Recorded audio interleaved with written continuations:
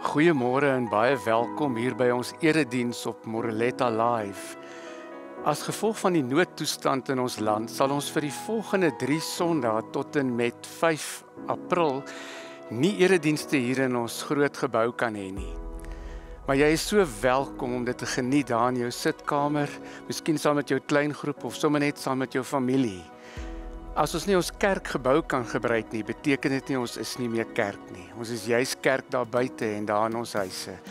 En mag die Here jou in die volgende weke wat ons nie bymekaar kan kom nie, so seën daar waar jy ons ehm um, deel van ons gaan wees in jou sitkamer daar in jou huis. Baie welkom aan almal wat ingeskakel is. Ons lidmate van Morletta Park en ander mense wat saam met ons inskakel oor ons hele land en oor die wêreld. Julle is so welkom twee belangrike dinge wat ons hoop in die loop van die jaar nog gaan plaasvind, wil ons graag net onder julle aandag bring.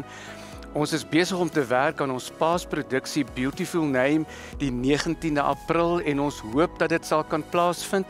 Julle moet maar ons ehm um, kommunikasiekanale dophou want ons gaan julle op hoogte hou van hoe dit loop in terme van die situasie in ons land. En dan 30 Augustus is Amazing Grace ons groot produksie. Hou die datums oop.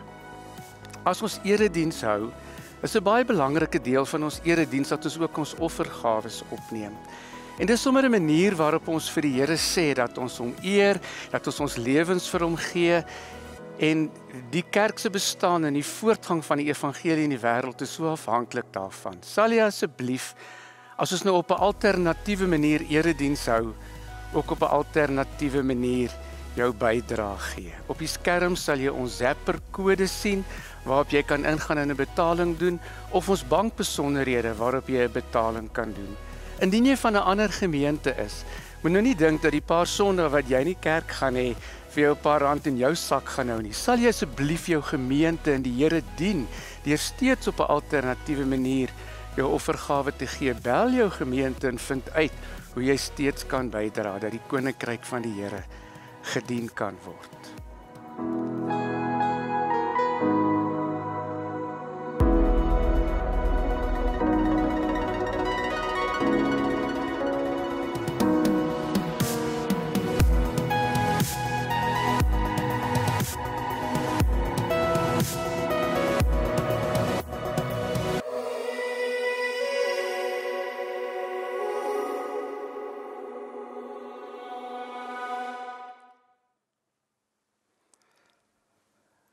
Hartlike goeie dag. Wat 'n voorreg om so saam te kan wees hier by jou, by jou huis, waar jy alleen is, waar jy saam met jou familie is.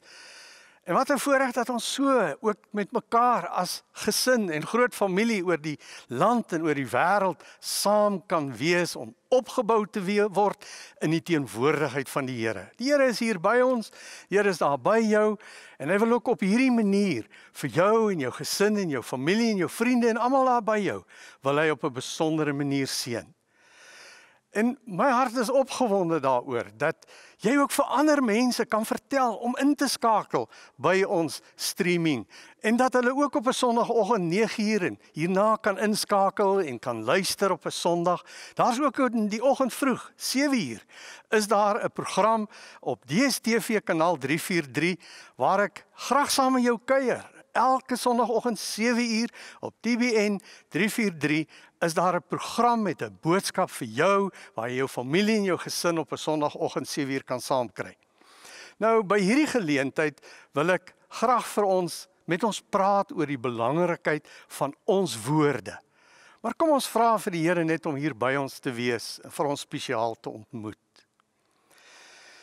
Here Jesus, baie dankie dat ons weet dis u woord en u is hier Waar ons so in U naam Here Jesus Christus bymekaar is, is U ook self by ons.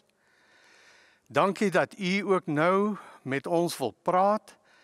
Ons stel ons harte vir U oop. Kom Heilige Gees. Kom lei vir ons in hierdie oomblikke. Ontmoet ons, raak ons aan, kom bemoedig ons, versterk ons, vertroos ons.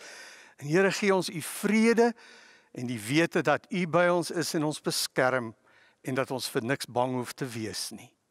Dankie dat U hier is. Ons eer U, Jesus ons Here. Amen. Ek gaan vir ons saam lees uit Efesiërs 4.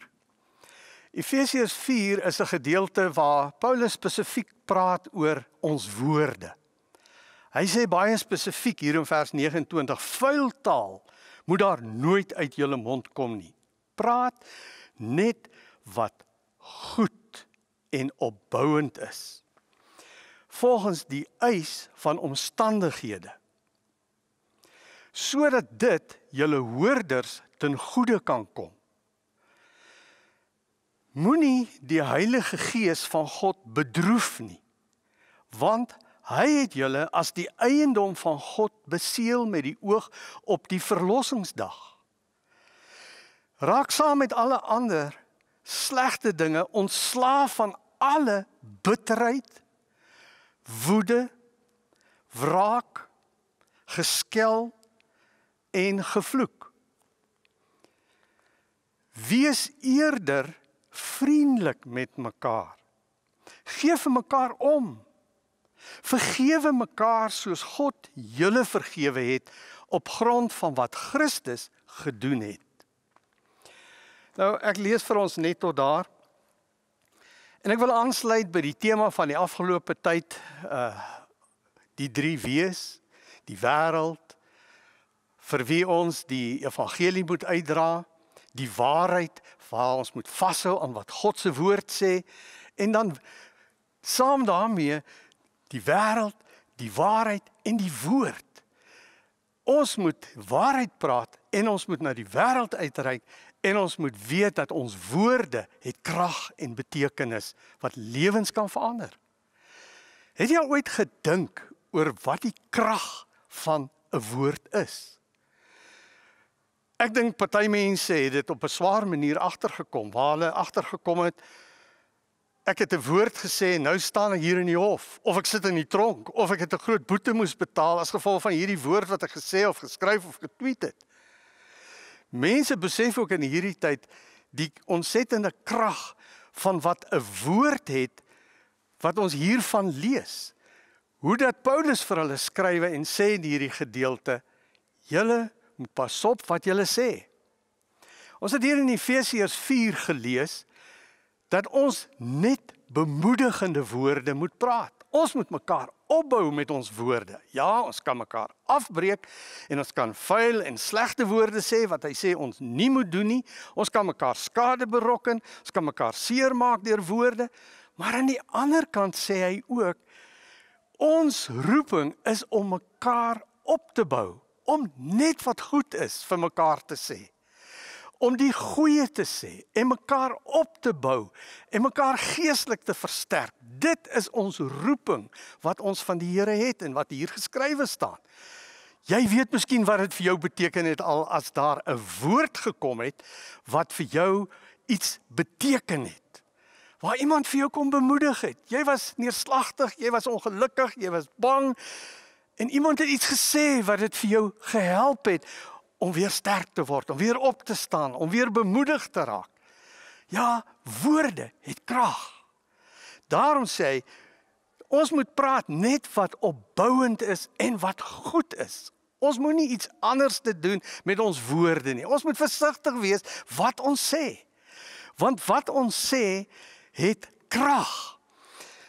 Ek dink byvoorbeeld aan aan mense wat woorde gesê het wat ander moedeloos gemaak het. Hulle nie meer wou laat lewe nie, wat hulle lewe wou geneem het. Ek weet van mense wat as gevolg van iemand se woord het hulle nie meer kans gesien om te leef nie. Het hulle bang geraak, het hulle in vrees begin wegkruip, het hulle oor hulle self begin in hulle dop kruip het hulle nie meer moed gehad om regtig voor mense iets te sê of te doen nie. 'n Woord wat iemand gesê het. Ons moet pas op vir slegte woorde. Woorde het 'n geweldige krag. As ons byvoorbeeld dink net wat die Bybel vir ons leer oor woorde. As staan in Genesis 1 vers 3 dat God het deur 'n woord geskape. En die wêreld wat nie daar was nie, het hy in aansien geroep laat daar lig wees en daar was lig. Wat God sê het gebeur. God het 'n woord gesê en uiteindelik het die hele skepping tot stand gekom. Besef ons ook die woorde wat ons sê. Jesus het byvoorbeeld 'n woord gesê waarin hy gesê het toe hulle by 'n vyeboom kom en hy honger was en hy gesoek het vir vrug en daar niks was nie, lees ons dat hy hierdie vyeboom vervloek het. Dat hy gesê het jy sal in ewigheid nie weer vrug dra nie. En toe die volgende dag daar verbystap, toe kon hulle nie glo dat dit wel gebeur het nie. Hulle Petrus het gesê, "Here, kyk hierdie boom. Hy's dood. Hy's verdroog vanaf sy wortels. Here, U het hom gister vervloek. Kyk wat het vandag gebeur." 'n Woord wat Jesus sê. Woorde wat hy op ander plekke gesê het, staan op en loop en daar het genesing gekom. Woorde het mag. Jesus het self in daai gedeelte verder verduidelik oor die mag van woorde. Hy het byvoorbeeld gesê, ons lees dit uh, in Markus 11, hier van vers 20 af sê hy as jy vir 'n berg sê skuif en werp jouself in die see, sal dit gebeur. As jy glo wat jy sê, jy moet weet watter mag het jou woorde. Dit kan berge van mense se skouers laat afval. Dit kan berge op mense se skouers plaas. Woorde moet ons weet het 'n geweldige krag. En daarom moet ons versigtig wees oor wat ons sê. Ons weet ook dat dit is die manier hoe mense tot bekering kom.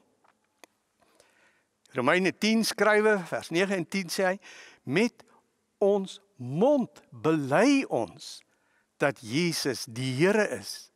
En as ons bely dat Jesus die Here is en met ons hart glo, sal ons gered word sien nie wat 'n woord teenoor God beteken?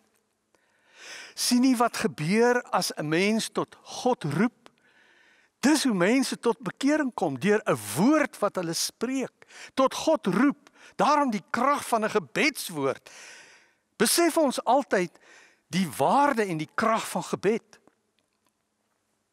Ek lees dat daar staan dat daar 'n goue bak voor God se troon is en dat die woorde wat ons bid in daardie goue bak kom.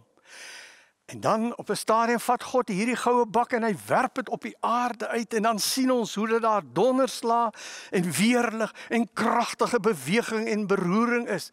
Sou ons nie as gelowiges in hierdie tyd kan saam bid in huise en in groepe en waar ook al dat die Here hierdie wêreld se krisis sal omkeer en dat hier iets goeds gaan uitkom dat mense wat oor die dood bekommerd is tot bekering sal kom en dat die Here hierdie virus sal tot niet laat gaan. Besef ons die krag van woorde. Besef ons dat as ons bid sê Hebreërs 1 vers 3 dan stuur God sy engele uit op grond van daai woorde. Dan is hierdie engele besig om in die wêreld in te beweeg om hierdie gebede in vervulling te laat gaan. Watter krag het woorde nie.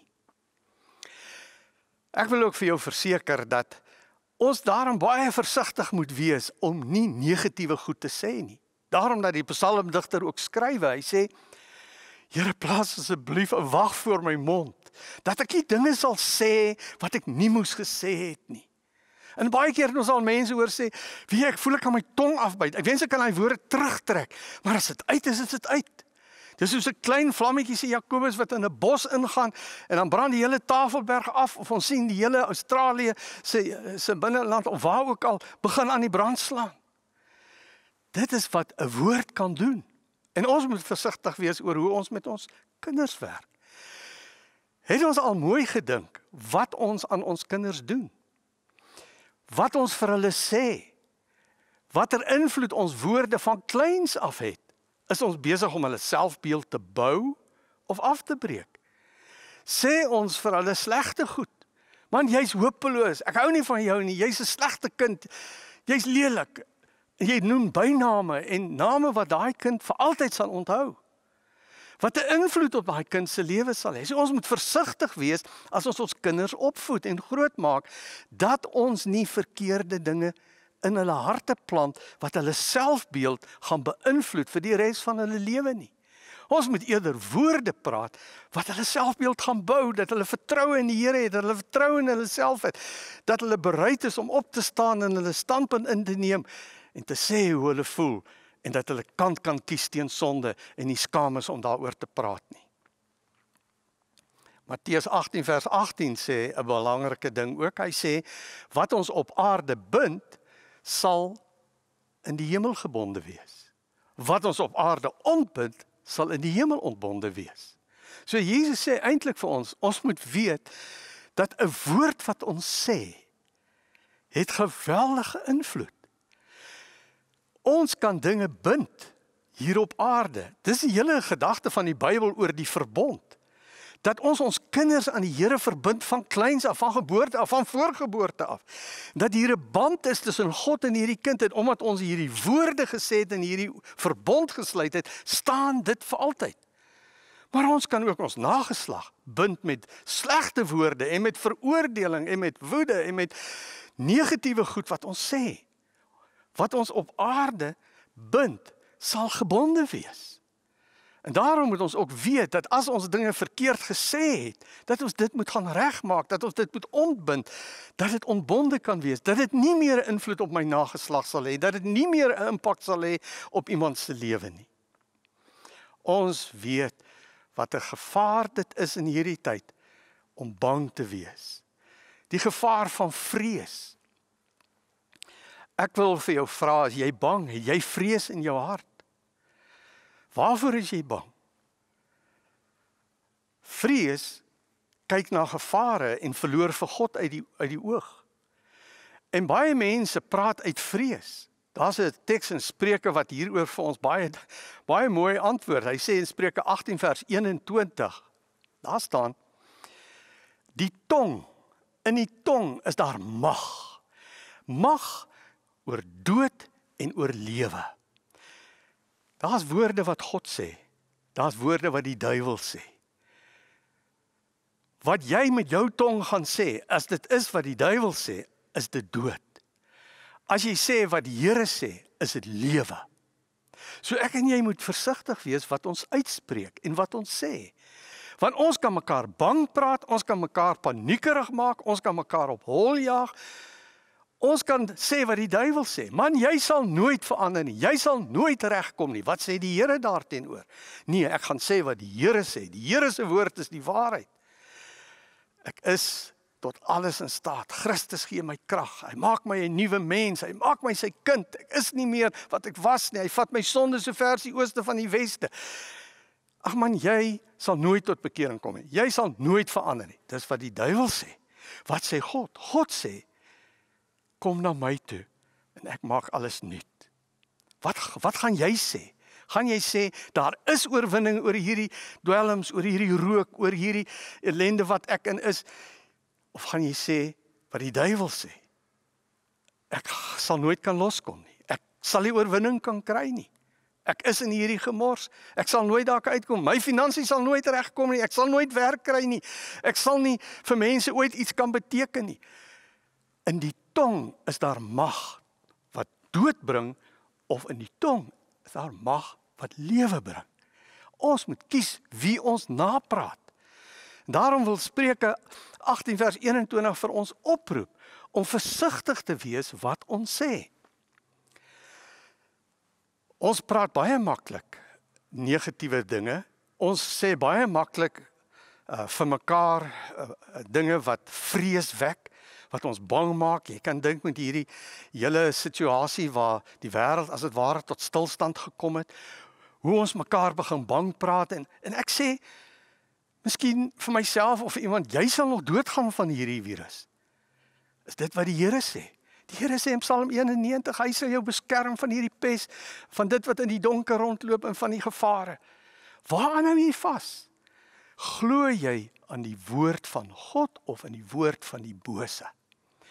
Kom ons leer om nie meer negatief te praat nie, ook in hierdie tye wat dinge verander, dat ons die waarheid sal praat wat God sê, dat ons uit die waarheid sal lewe.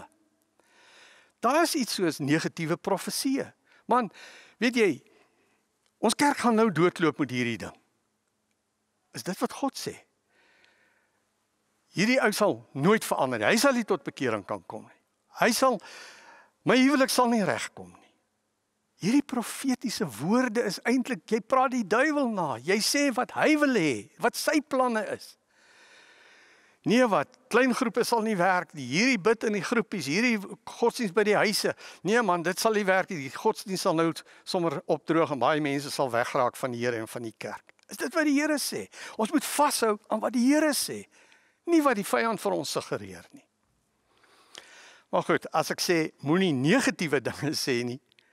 En pas op om negatief te raak en pas op om vir vrees in jou hart plek te gee en dan te begin napraat. Ek wil aan die ander kant vir jou sê, daar is ook iets soos positiewe woorde. Woorde van geloof, woorde wat jou gaan opbou. God het wonderlike beloftes. God het wonderlike waarhede in sy woord. Hou ons daaraan vas. Daarom is dit belangrik dat ons die woord moet bestudeer. Weet jy, as ons sê ons is Christene, dan moet ons mos hierdie boek ken. Dan moet ons God se woord ken. Dis mos wat vir ons belangrik is. Om te hoor wat hy sê en wat in sy woord staan. Moet ons hierdie woord nie net hoogag en eer en respekteer en daarna luister nie. Ons moet hom ken. Ons moet bereid wees om tyd te maak om die woord te lees en te bestudeer. So dit is miskien een van die belangrikste goed dat ons nou 'n nuwe dissipline in ons lewe en in ons dagprogram moet inbring om tyd te maak vir God se woord. En om die woord te begin lees en leer en bestudeer en skryf in my joernaalboek dat dit deel word van my lewe want dan is die volgende tree ek moet begin praat wat die woord sê. Sê jy God se beloftes sê jy dit in geloof dan sal jy sien hoe 'n berg verdwyn in die see ons moet weet dat God vir ons wonderlike beloftes in sy woord gegee het Dis hy wat vir ons sê ons moet sy beloftes praat.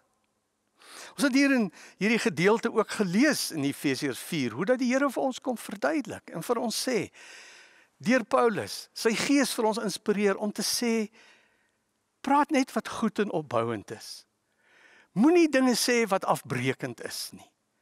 Maak seker dat jou woorde salf is, heuning is krag gee, lewe gee, brood is.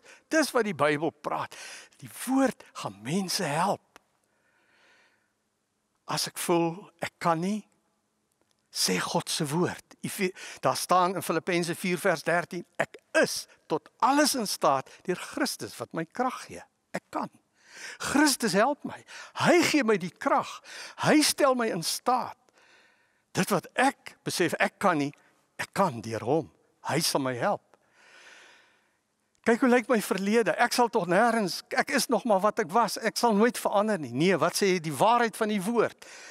2 Korinte 5 vers 17 sê as Christus in my lewe ingekom het, as ek in Christus is, is ek 'n nuwe skepsel. Ek is nie meer wat ek was nie. Ek is 'n nuwe mens. Die ou dinge is verby. Kyk, alles het nuut geword. Die ou dinge is verby. Daarom Here, as U sê dit is verby, dan is dit verby. U dink nie weer daaraan nie. U gaan my nie weer straf daarvoor nie. U sê omdat u in my lewe gekom het, het u my kom skoon maak, nuut maak, heel maak, vrygemaak. Dis hoe ek nou oor myself moet dink. Dis hoe ek moet praat in my gebedslewe. Dis hoe ek nou vir mense moet sê, my getuienis is dit. Dis wat Christus in my lewe gedoen het. Sê jy jy kan nie, jy voel jy's te swak, Kom ons kyk wat sê die Bybel. Jy's 'n oorwinnaar, staan daar in Romeine 8 vers 37.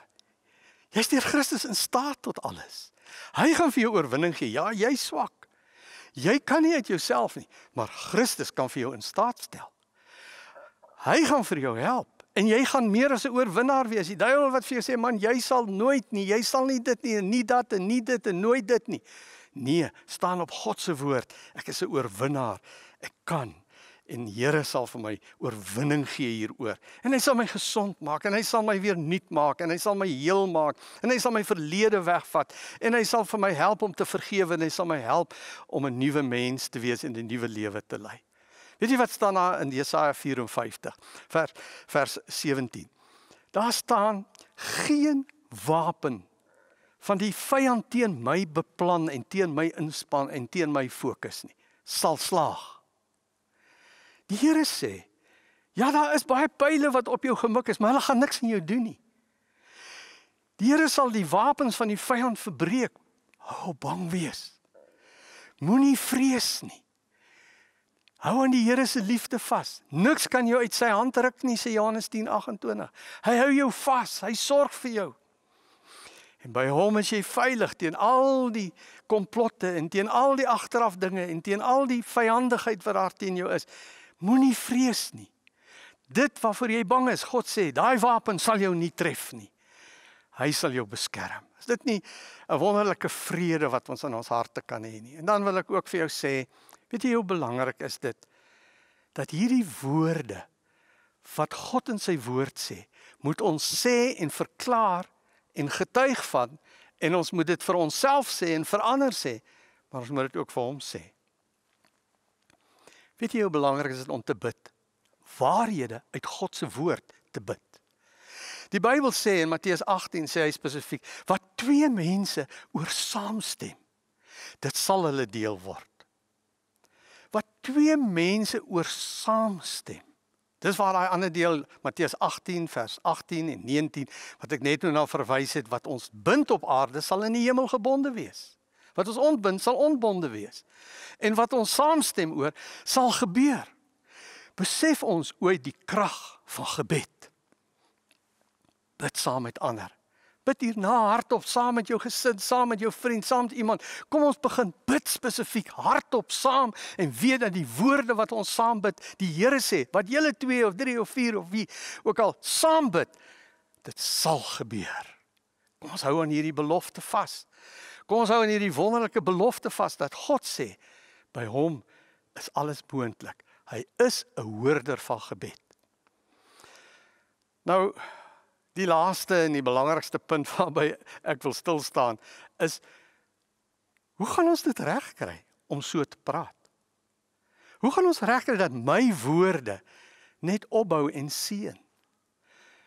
Weet jy die oorsprong van woorde is my hart. Dit help nie ek besluit nou net ek gaan nou minder dit en meer dat ek gaan nie meer so praat nie maar kry dit nie reg nie. Want Spreuke 4 vers 23 sê: Bewaak jou hart, jou hart meer as enige iets anders, want daaruit is die oorspronge van die lewe.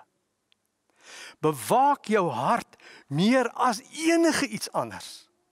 Bewaak jou hart.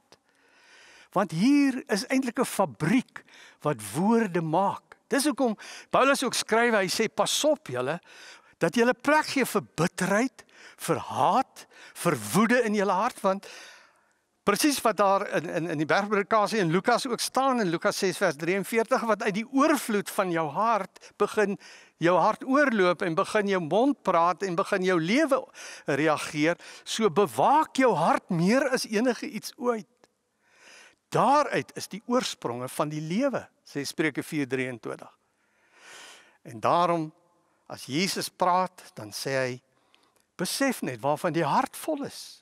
Daarvan gaan jou mond oorloop. Kan ek vir jou vra waarvan is jou hart vol? Is dit vol vrees? Gaan jy ander mense bang maak en vrees versprei en paniek veroorsaak? Waarvan is jou hart vol? Van die liefde van die Here? Van die omgee vir mense in nood en siekte en behoeftes? Dan gaan jy uitreik na hulle. Waarvan is jou hart vol? Vol bitterheid en woede en haat en vergelding en wraak? dan gaan jy mense te nakom en dan gaan jy jouself vergiftig en dan gaan jy 'n blok tussen jou en die Here bring as gevolg van onvergewensgesindheid. So ons moet weet dat wat nou gaan binne wat binne is, gaan uitkom na buite toe. Ja, party mense se harte is vol geld. Dis alwaaroor dit gaan. Dis hoe hulle dink, dis hoe hulle redeneer, dis hoe hulle besluite neem. Dis hoe hulle praat. Laat hulle net 'n bietjie praat en hoor jy waarvan is hy vol? Vol sport, vol welis, vol seks, vol uh, oneerlikheid, vol leuns, vol bedrog. Dis wat hier binne broei. Dis wat hier in my hart aangaan. Dit is die geheim om reg te praat. Beteken, maak die fontein skoon. Dan sal die water helder uitkom. Help jy skep net die blaartjies wat hier uitkom en die vuil goggas en goed. Jy skep hulle aan mekaar af en jy hou aan en dit nee, maak die bron skoon. Maak die fontein skoon, dan kom hier helder water uit. Dan begin mense agterkom hier's iets nuuts in jou waarna hulle dors, waarna hulle verlang. Ek weet dis die Here se begeerte. Hy wil hê ons moet vrede in ons hart hê. Hy wil ons hart vul met sy liefde, met sy blydskap te midde van 'n storm, te midde van moeilike omstandighede, te midde van verandering. En hy wil ons hart vul met sy liefde.